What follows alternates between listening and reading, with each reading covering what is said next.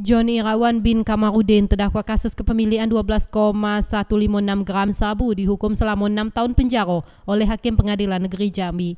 Dalam sidang yang digelar secara daring pada selasa sore, Hakim menyatakan terdakwa telah terbukti secara sah dan meyakinkan bersalah melakukan tindak pidana, percubuan atau pemufakatan jahat, memiliki, menyimpan, menguasai atau menyediakan narkotika golongan satu kenyok tanaman berat yang melebihi 5 gram sebagaimana pasal 112 ayat 2 junto pasal 132 ayat 1 Undang-Undang Republik Indonesia nomor 35 tahun 2009 tentang narkotika.